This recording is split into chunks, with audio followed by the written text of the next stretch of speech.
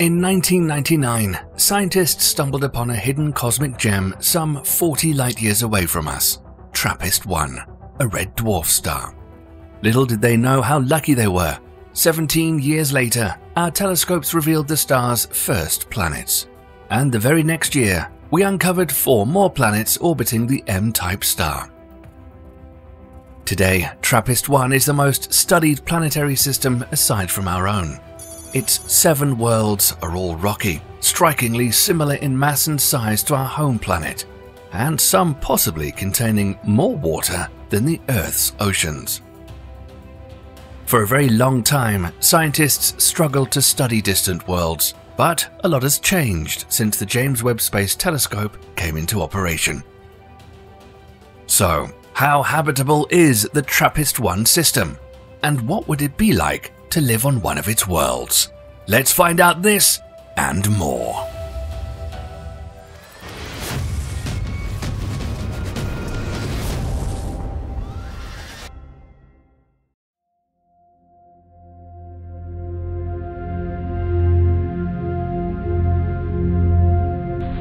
The James Webb Space Telescope was built to study the early universe, back when the first galaxies and stars were forming. But what makes it really special is its ability to analyze atmospheres around distant exoplanets. The telescope's near-infrared spectrograph and the mid-infrared instrument are able to measure a different spectrum of light emitted by faraway celestial bodies. This helps scientists identify the composition and temperatures of planets and their atmospheres.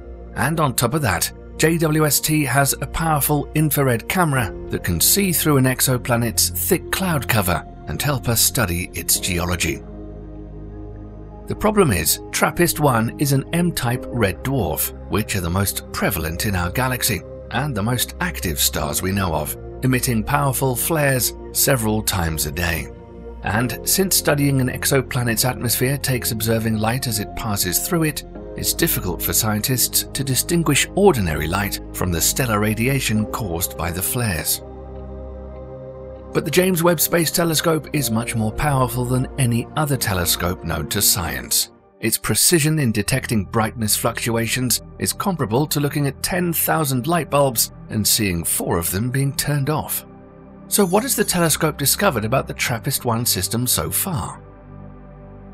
Recent observations showed that the closest planet to the star in the TRAPPIST-1 system either has a very thin atmosphere or none at all, and is most likely a bare rock.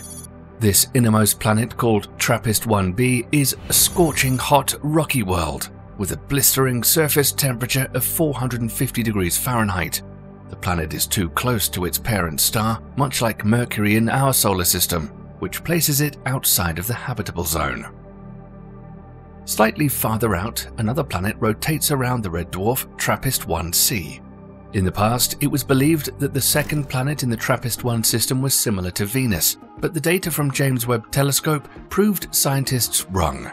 The planet doesn't have a Venus-like thick atmosphere, and while the temperatures on the day side of this world are still extremely hot, about 225 degrees Fahrenheit, it is now considered the coldest rocky planet ever studied using this new method.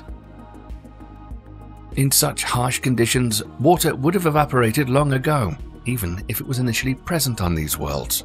But according to a new study, the rest of the planetary system might have stayed cold enough for water to remain there, either in liquid or frozen form.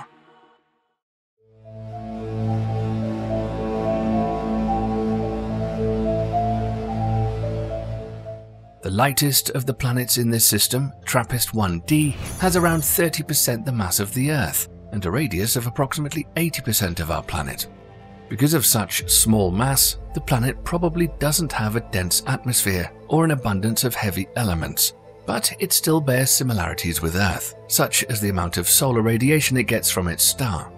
Located just on the inner edge of the habitable zone, the planet's temperature without an atmosphere would be about 48 degrees Fahrenheit, to compare, if there were no greenhouse effect on Earth, the surface temperature would be freezing, about 0 degrees Fahrenheit.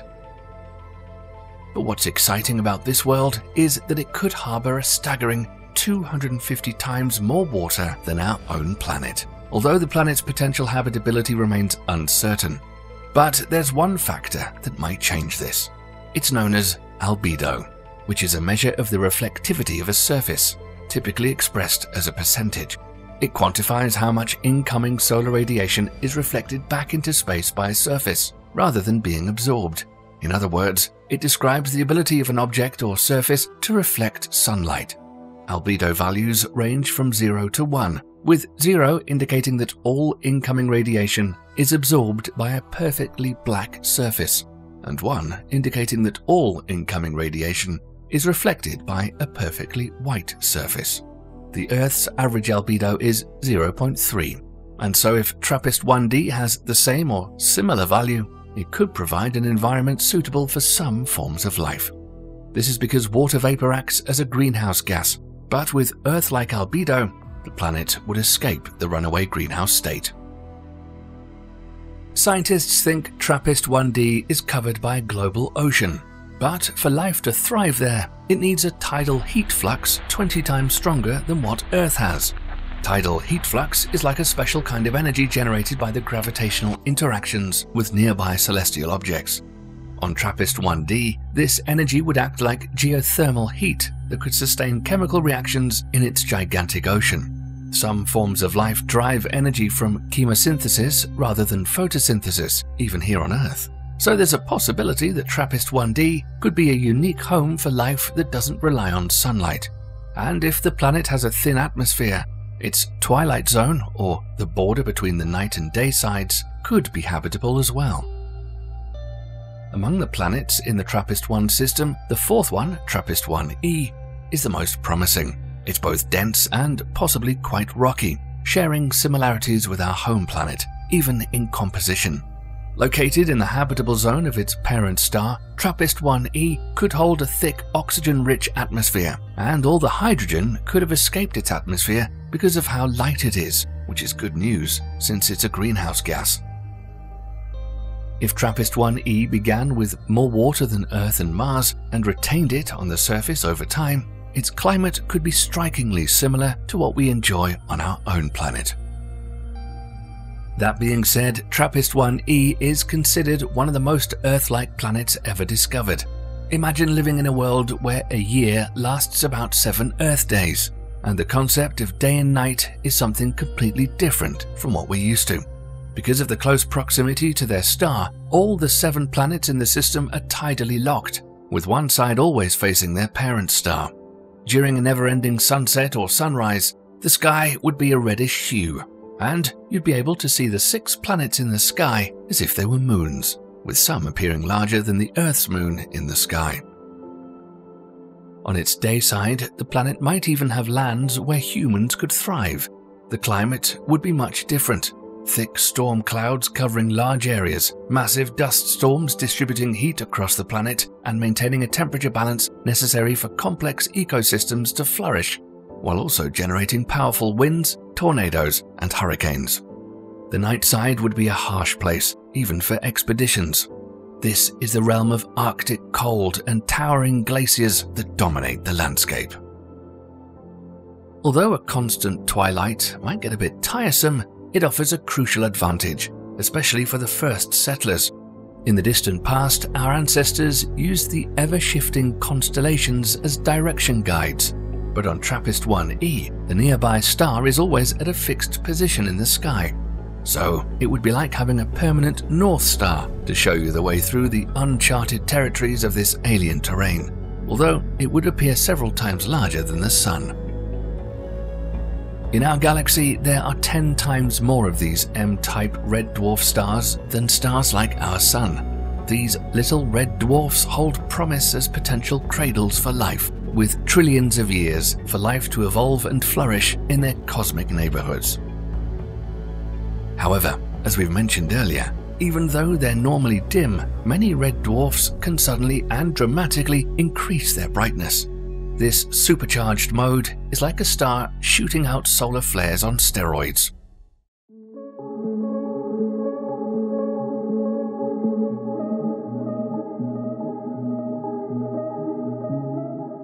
Some scientists think that the flares from the TRAPPIST 1 star might actually be helpful for life on the nearby planets. These flares give off a lot of energy, and that energy could have kick-started the creation of important molecules like amino acids, which are building blocks for life. So, while the high energy radiation from flares could be harmful and may even sterilize a planet's surface or strip away its atmosphere, it could also provide the extra energy needed for early forms of life to develop. Although data shows TRAPPIST-1 is a much safer host star, its flares are about 30 times milder than those seen in other red dwarfs. But since the seven planets in the TRAPPIST-1 system are tightly packed, the effects would be noticeable. And this means that auroras on TRAPPIST-1e would be nothing like the ones we know. Human bodies are fragile, so even weaker but frequent solar flares from the star pose a constant danger. Here, auroras act as natural alarms, signaling the incoming flare. To survive, inhabitants would rely on an exponentially thicker ozone layer and a strong magnetosphere, along with advanced technology to track and respond to these volatile solar events. For safety, colonizers of the planet could construct specialized shelters resembling bunkers. These shelters would be equipped with shielding materials and advanced life support systems, serving as a refuge during periods of intense space radiation, and they'd be built into every habitat. Moving wouldn't be much different, as the planet has gravity about 93% that of Earth. But if you don't find a safe place to hide once solar flares strike the planet, your arteries might contract, which can impair blood flow, leading to critical health problems. Exposure to this extreme stellar radiation can also damage the DNA within your cells, disrupting the normal cell production rate, causing mutations or a growth of abnormal cells. In this world of constant twilight, growing plants becomes a puzzle. The starlight reaches the planet's surface at a low angle, which can cast shadows and limit plant growth. To overcome this, humans might consider a concept like the Hanging Gardens of Babylon, letting vegetation drape from multi-level platforms to catch sunlight from different directions. Imagine a series of tiered planter boxes, each placed on top of the one below.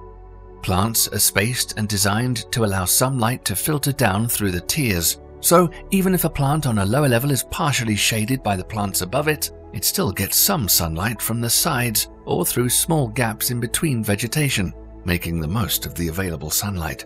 The idea is similar to the vertical gardens created by nature, where every inch of space is optimized for plant growth. If there's native flora on the planet, it might not need a human hand to thrive, since it has probably evolved to be completely black to absorb more of the sunlight. Another idea is some vegetation might also evolve into bioluminescent organisms, emitting their own soft glow to compensate for the lack of natural light. This adaptation would extend their growing hours and enhance their chances of survival in the persistent twilight. Located a bit farther from its parent star, TRAPPIST-1F only receives about a third of the starlight compared to what Earth gets from the Sun. This makes this world much cooler. If there's no atmosphere around TRAPPIST-1F, its surface temperature would be approximately minus 74 degrees Fahrenheit, turning any potentially existing water there into ice. The same would happen on the two outermost planets, TRAPPIST-1G and H. Although the data shows they are rich in water, their surface would be covered in ice.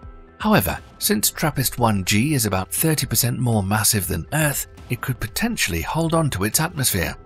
If the planet managed to preserve this heat-distributing layer and has active volcanism to fulfill greenhouse gases needed to sustain that atmosphere, the planet might still be a water world, or maybe there's a subsurface liquid water ocean on this planet that hides exotic forms of life.